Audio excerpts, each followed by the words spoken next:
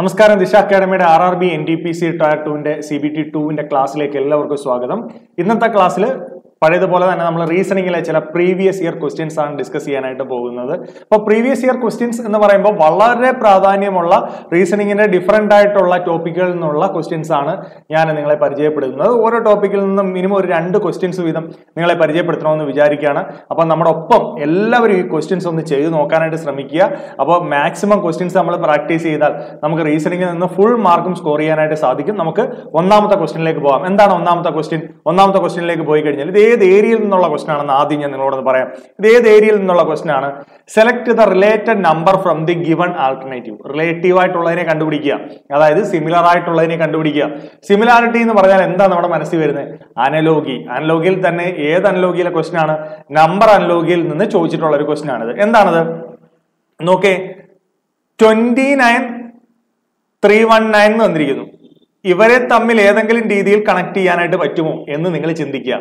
Twenty nine three one nine അങ്ങനെയാണെങ്കിൽ twenty three ആരുമായി connect ചെയ്തിരിക്കുന്നു. എന്നാണ് നമുക്ക് കണ്ടുപിടിക്കേണ്ടത്. നോക്കൂ നല്ലൊരു ക്വസ്റ്റ്യൻ ആണ് ഈ ക്വസ്റ്റ്യൻ കാരണം എന്താണെന്ന് ചോദിച്ചു കഴിഞ്ഞാൽ പെട്ടെന്ന് ഇതിന്റെ ലോജിക് ഒന്നും കണ്ടുപിടിക്കാനായിട്ട് ആർക്കും സാധിക്കണമെന്നില്ല. നല്ല പ്രാക്ടീസ് ഉണ്ടെങ്കിൽ മാത്രമേ നമുക്ക് ഇത് ചെയ്യാൻ പറ്റുള്ളൂ. ഇതാ ഞാൻ ആദ്യത്തെ ക്ലാസ്സിൽ പറഞ്ഞാൽ നമ്മൾ ചെറിയ ക്വസ്റ്റ്യനിൽ നിന്ന് നല്ല ക്വസ്റ്റ്യനുകളിലേക്കാണ് പോകുന്നത്. ട്വന്റി നയൻ എന്ന് പറയുന്ന നമ്പറിനെ ടു പ്ലസ് നയൻ നമുക്ക് എത്ര കിട്ടുന്നത്? ഇലവൻ നമ്മുടെ ട്വന്റി നയനെ ഈ ഇലവൺ കൊണ്ട് ഒന്ന് മൾട്ടിപ്ലൈ ചെയ്താൽ നിങ്ങൾ നോക്കി എത്ര കിട്ടുന്നത് ത്രീ വൺ നയൻ അല്ലേ കിട്ടുന്നത്? ഒന്ന് മൾട്ടിപ്ലൈ ചെയ്ത് നോക്കിയ സംശയമുള്ളവര്. അങ്ങനെയാണെങ്കിൽ ട്വന്റി ത്രീ ട്വന്റി ത്രീ എന്ന് പറഞ്ഞാൽ എന്താ വരുന്നേ? ടു പ്ലസ് ത്രീ എത്ര കിട്ടും? ഫൈവ് ആ ട്വന്റി ത്രീനെ നമ്മൾ ഫൈവ് കൊണ്ടൊന്ന് മൾട്ടിപ്ലൈ ചെയ്ത് എന്താണ് കിട്ടുന്നത്? Three into five fifteen one remainder വരും. Two into five ten one one five one is the answer. Option B is the right answer. നോക്കൂ. നല്ല ക്വസ്റ്റ്യൻ ആയിരുന്നില്ലേ ഈ ക്വസ്റ്റ്യൻ കാരണം പെട്ടെന്ന് അതിന്റെ ലോജിക് ഒന്ന് കണക്ട് ചെയ്യാൻ പറ്റുമോ എന്ന് ചോദിച്ചു കഴിഞ്ഞാൽ നമ്മൾ ഒന്ന് പാടുവിടും അല്ലേ? കാരണം ആദ്യം തന്നിരിക്കുന്ന രണ്ട് രണ്ട് നമ്പറിന്റെ ഡിജിറ്റുകൾ തമ്മിൽ സം ചെയ്തിട്ട് ആ കിട്ടുന്ന സമ്മിനെ ദാറ്റ് നമ്പറുമായിട്ട് മൾട്ടിപ്ലൈ ചെയ്യുന്നു. അപ്പൊ നമുക്ക് എന്ത് കിട്ടി? രണ്ടാമത്തെ നമ്പർ കിട്ടി. So the same procedure can be taken in the another number twenty three ടൂവും ത്രീയും കൂടെ ആഡ് ചെയ്തപ്പോൾ നമുക്ക് എന്ത് കിട്ടി? ഫൈവ് കിട്ടി. ഫൈവിനെ ട്വന്റി ത്രീയുമായി മൾട്ടിപ്ലൈ ചെയ്തപ്പോൾ നമുക്ക് എന്ത് കിട്ടി? വൺ വൺ ഫൈവ് കിട്ടി. അപ്പൊ ഞാൻ നിങ്ങളെ ഓർമ്മിപ്പിക്കുന്നത് ഇത്തരം ക്വസ്റ്റ്യൻസ് ഒക്കെ ചെയ്ത് പ്രാക്ടീസ് ചെയ്ത് തന്നെ പോകണം. അല്ലാതെ ട്വന്റി നയന്റെ മൾട്ടിപ്ലിക്കേഷൻ ടേബിളോ ഇലവന്റെ മൾട്ടിപ്ലിക്കേഷൻ ടേബിളോ ഒന്നും ചെയ്യാൻ ഒരുപക്ഷെ നമ്മൾ പെട്ടെന്ന് ഓർത്തു വെക്കണമെന്നില്ല. അപ്പം ഡിവിസിബിലിറ്റി ടെസ്റ്റ് ഒക്കെ അറിയാമെങ്കിൽ മാത്രമേ ഏതിന്റെ മൾട്ടിപ്പിൾ ആണെന്നൊക്കെ പെട്ടെന്ന് നമുക്ക് ഓർക്കാൻ പറ്റും. അപ്പൊ മാത്സിന്റെ ബേസിക് എപ്പോഴും നമ്പർ സീരീസുമായിട്ട് നമ്പർ അനലോഗിയുമായിട്ട് നമ്പർ ക്ലാസിഫിക്കേഷനുമായി ഒക്കെ ബന്ധപ്പെട്ട ആവശ്യം വരും. കാരണം എന്താണെന്ന് ചോദിച്ചു കഴിഞ്ഞാൽ സ്ക്വയറുകൾ ക്യൂബുകൾ പ്രൈം നമ്പേഴ്സ് അങ്ങനെയുള്ള കാര്യങ്ങൾ എല്ലാം പല ക്വസ്റ്റ്യന്റെയും ഭാഗമായിട്ട് വരാം. അപ്പോൾ ഈ ക്വസ്റ്റ്യൻ ഒന്ന് പ്രാക്ടീസ് ചെയ്തിട്ട് പോവുക. അടുത്ത ക്വസ്റ്റ്യനിലേക്ക് പോവാം. ഇതാ ഇത് ഒരു പക്ഷേ നിങ്ങൾക്ക് കുറച്ചുകൂടെ വേഗം കണ്ടെത്താൻ പറ്റുന്ന ഒരു ക്വസ്റ്റ്യൻ ആയിരിക്കും ten ninety nine. Ten ninety nine. Ten എന്ന് പറയുന്ന നമ്പർ നയന്റി നയനുമായി റിലേറ്റ് ചെയ്തിരിക്കുന്നു. ഓക്കെ? അങ്ങനെയാണെങ്കിൽ ഇവിടെ വരേണ്ട രണ്ട് നമ്പറിന്റെയും കോമ്പിനേഷൻ കണ്ടുപിടിക്കണം. അപ്പൊ ഇവിടുത്തെ ഒരു റിലേഷൻ എന്താണെന്ന് കണ്ടെത്തിയാൽ ഇവിടെ എന്താണ് റിലേറ്റ് ചെയ്തിരിക്കുന്നതെന്ന് നമുക്ക് പറയാൻ സാധിക്കും. ടെന്നും ഹൺഡ്രഡും ആണെങ്കിൽ നമുക്ക് പറയാം ടെന്നും ടെന്നിന്റെ സ്ക്വയറുമാണെന്ന് പക്ഷെ ഇവിടെ വന്നിരിക്കുന്ന നയന്റി നയൻ അല്ലേ? അതിന്റെ അർത്ഥം ഹൺഡ്രഡിൽ നിന്ന് ഒന്ന് കുറഞ്ഞിരിക്കുന്നു. അപ്പോഴാണ് നയന്റി നയൻ കിട്ടുന്നത്. അപ്പൊ ടെന്ന് ടെന്നിന്റെ സ്ക്വയറിൽ നിന്ന് ഒന്ന് കുറഞ്ഞിരിക്കുന്നു. അപ്പൊ അതേ ലോജിക്ക് ഇതിൽ ഏതെങ്കിലും ഓപ്ഷൻ ഉണ്ടോ? ആറ് ആറിന്റെ square thirty six plus one അപ്പൊ ഇത് വരികയില്ല.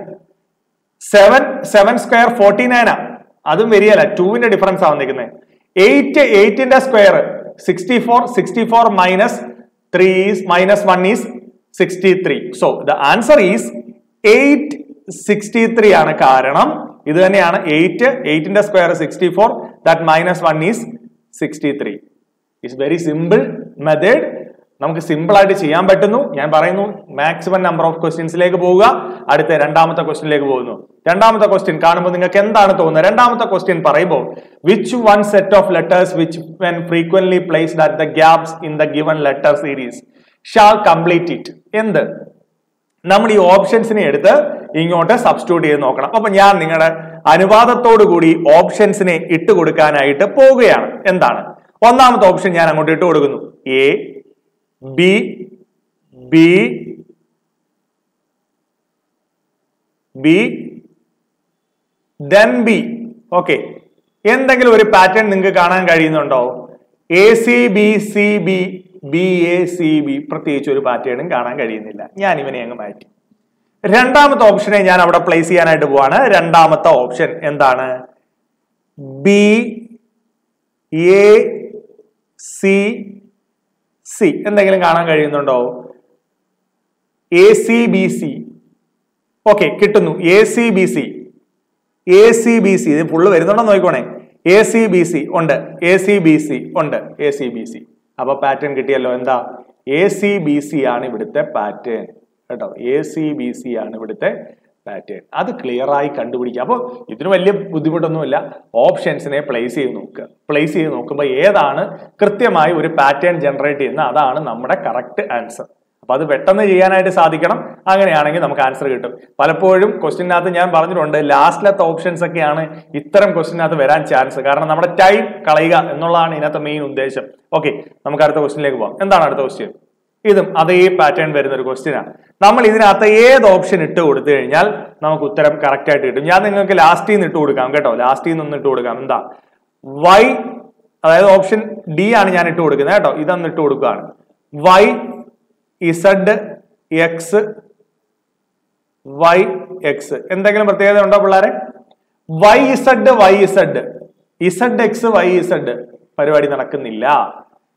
ഞാൻ അടുത്ത ഓപ്ഷനിലേക്ക് പോകും. Option C. എന്താണ്? വൈ ഇട്ടു എക്സ് ഇട്ടു ഇസഡ് ഇട്ടു വൈ ഇട്ടു ഇസഡ് ഇട്ടു. എന്തെങ്കിലും വരുന്നുണ്ടോ? ഉണ്ട്. Y Z Y X Z six Y Z Y X Z X Y Z Y X Z X അപ്പൊ ആ ഒരു പാറ്റേൺ നമുക്ക് കൃത്യമായിട്ട് കിട്ടുന്നുണ്ടല്ലോ. സോ ക്ലിയർ ആയിട്ട് നമുക്ക് മനസ്സിലാക്കാൻ സാധിച്ചു. ഓപ്ഷൻ സി ഇട്ട് കൊടുത്തപ്പോഴാണ് എന്തെങ്കിലും കൺഫ്യൂഷൻ ഉണ്ടെങ്കിൽ നിങ്ങൾ ബാക്കിയുള്ളത് കൂടി ഇട്ട് കൊടുത്ത് നോക്കിക്കൊള്ളുക ഇതൊരു സിമ്പിൾ മെത്തേഡാണ് നമുക്ക് മാർക്ക് സ്കോർ ചെയ്യാൻ പറ്റുന്ന ഒരു സംഭവമാണ് ഈ പാറ്റേൺ ഐഡന്റിഫൈ ചെയ്യുക എന്നുള്ളത്. അതിൽ നിന്നുള്ള മാർക്ക് പോകരുത്. അത് ചെയ്ത് നോക്കിക്കോണം. അഞ്ചാമത്തെ ക്വസ്റ്റ്യൻ ഇതാ എന്താണ്? ഒരു ഒരു വേഡ് തന്നിരിക്കുന്നു. ഇതാണ് നമുക്ക് തന്നിരിക്കുന്ന വേഡ് എന്താണ്? എന്റേൺമെന്റ് എന്നൊരു വേഡ് തന്നിരിക്കുന്നു. എന്നിട്ട് ഈ വേഡിൽ നിന്ന് from the given alternative word select the word which can be formed using the letters of the given ഈ വേഡിൽ നിന്ന് നമുക്ക് ഉണ്ടാക്കിയെടുക്കാൻ സാധിക്കുന്ന വേഡുകളാണ് ഈ വേഡിലെ ലെറ്റേഴ്സ് ഉപയോഗിച്ചുകൊണ്ട് നമുക്ക് ഈ ഓപ്ഷനിലെ ഏത് വേഡാണ് ഉണ്ടാക്കിയെടുക്കാൻ സാധിക്കുന്നത്? നമുക്ക് നോക്കാം. ഒന്നാമത്തെ വേഡ് പറ്റുമോ ഇവിടെ രണ്ട് ടി ഉണ്ട്. നമ്മുടെ ഇവിടെ രണ്ട് ടി ഉണ്ടോ? ഇല്ല. അപ്പൊ തന്നെ മനസ്സിലായി ഒന്നും പറ്റത്തില്ല. രണ്ടാമത്തെ വേർഡ് ടെമ്പർ ആണ്.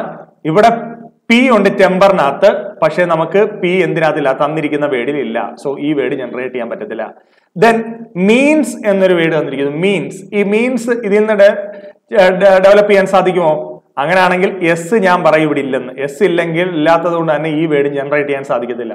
പിന്നെ ഉള്ള ആരാ? ടെൻഡർ എന്ന് പറയുന്ന വേർഡ് നമുക്ക് ജനറേറ്റ് ചെയ്യാൻ പറ്റും. കാരണം എന്താണെന്ന് ചോദിച്ചു കഴിഞ്ഞാൽ അവിടെ നോക്കൂ ഇതിനകത്തുള്ള എല്ലാ ലെറ്റേഴ്സും ആ വേർഡിനകത്തുണ്ട് സോ ഡെഫിനറ്റ്ലി ഈ വേർഡ് ആ തന്നിരിക്കുന്ന വലിയ വേർഡിൽ നിന്ന് ജനറേറ്റ് ചെയ്യാനായിട്ട് സാധിക്കും. വളരെ നിസാരമായ ഒരു മെത്തേഡാണ് വേർഡ് ഫോർമേഷൻ എന്ന് പറയുന്നത്. വേർഡ് ഫോർമേഷൻ നിങ്ങൾ ഒന്ന് ചുമ്മാ പ്രാക്ടീസ് ചെയ്ത് നോക്കിക്കൊള്ളുക ഒരു ഒരു ഗിവൺ വേഡ് തന്നിട്ട് അതിൽ നിന്ന് നമുക്ക് ഉണ്ടാക്കിയെടുക്കാൻ സാധിക്കുന്ന വേഡുകളെ കണ്ടുപിടിക്കാനാണ് വേഡ് ഫോർമേഷനിൽ ചോദിക്കുന്നത്.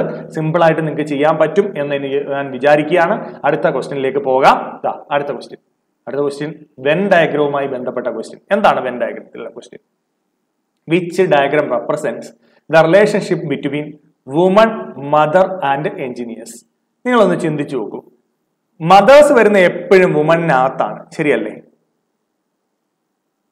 മദർ ആകുന്നത് എപ്പോഴും എന്താണ്?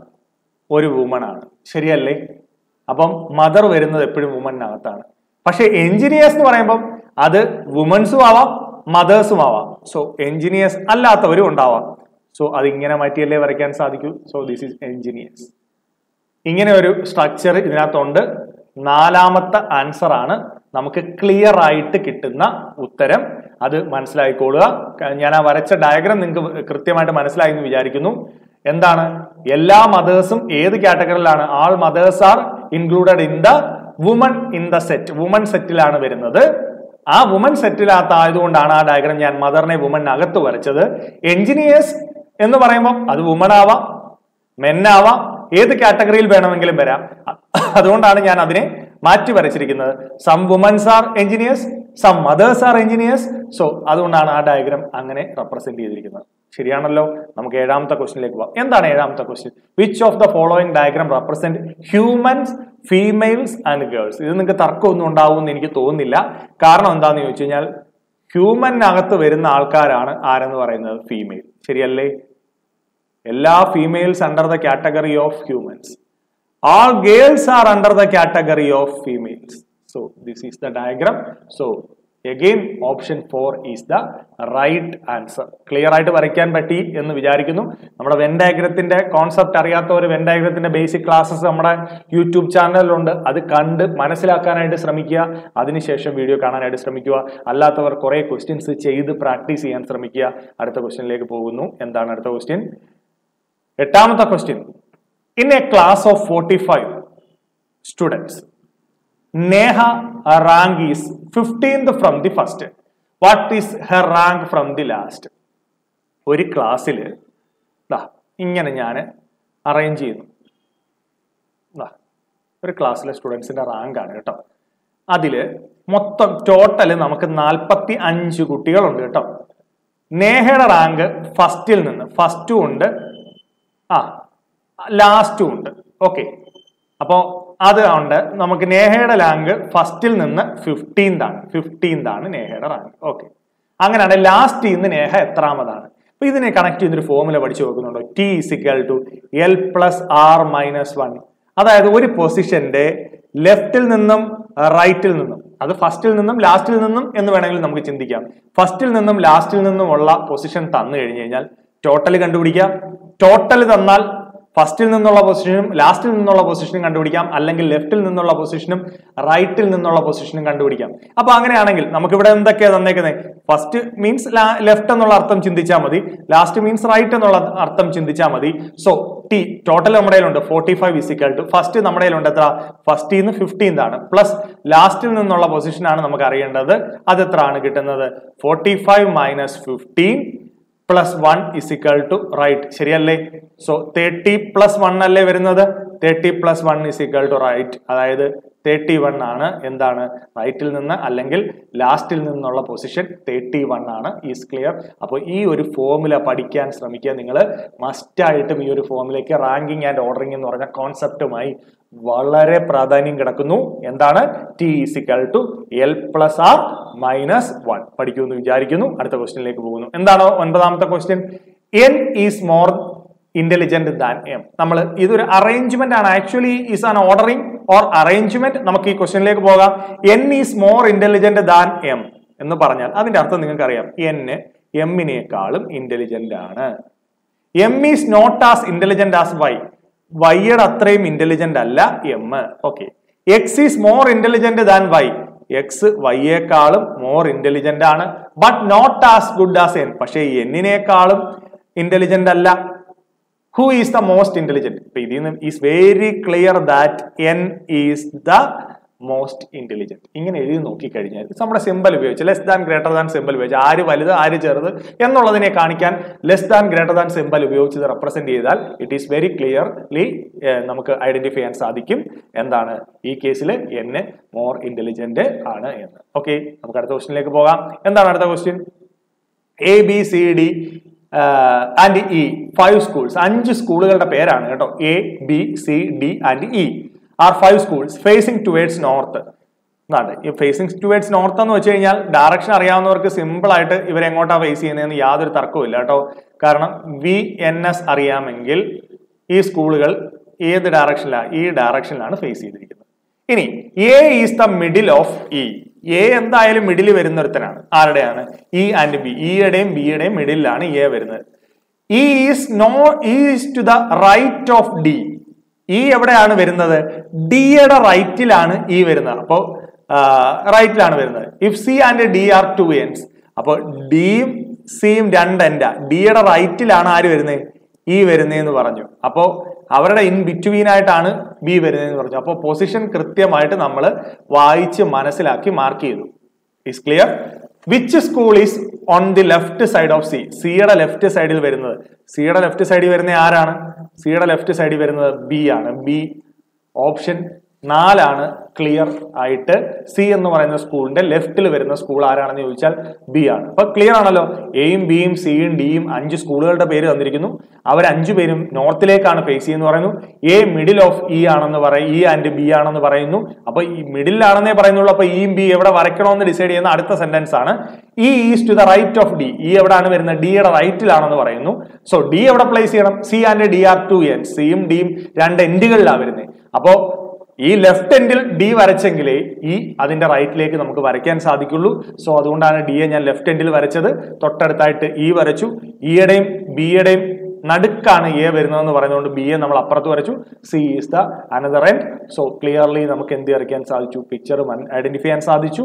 അപ്പോൾ which school is on the left side of C എന്ന് ചോദിച്ചാൽ school B is the left side of എന്തെന്ന് മനസ്സിലായി? സി എന്ന് മനസ്സിലായി. ഓക്കെ സോ ഞാൻ നിങ്ങളോട് പറയുന്നു ക്വസ്റ്റ്യൻസ് മാക്സിമം നിങ്ങൾ ചെയ്ത് പ്രാക്ടീസ് ചെയ്യുക. നമ്മുടെ ക്ലാസ്സസ് നിങ്ങൾക്ക് ഇഷ്ടപ്പെടുന്നുണ്ടെങ്കിൽ നിങ്ങളുടെ ഫ്രണ്ട്സിലേക്ക് നമ്മുടെ ക്ലാസ്സുകൾ ഷെയർ ചെയ്ത് കൊടുക്കുക. കാരണം നിങ്ങളുടെ ഷെയറിംഗ് ആണ് നമുക്ക് വീണ്ടും വീണ്ടും ക്ലാസ്സസ് ചെയ്യാനുള്ള ഒരു സപ്പോർട്ട് എന്ന് പറയുന്നത്. അപ്പം മസ്റ്റായിട്ടും നിങ്ങൾ പഠിക്കുകയും പ്രാക്ടീസ് ചെയ്യുകയും ചെയ്യുന്നതിനോടൊപ്പം നിങ്ങളുടെ സുഹൃത്തുക്കളിലേക്കും നമ്മുടെ ക്ലാസ്സുകളും നമ്മുടെ ചാനലും ഷെയർ ചെയ്യുകയും സബ്സ്ക്രൈബ് ചെയ്യുകയൊക്കെ ചെയ്യുക. Okay thank all the best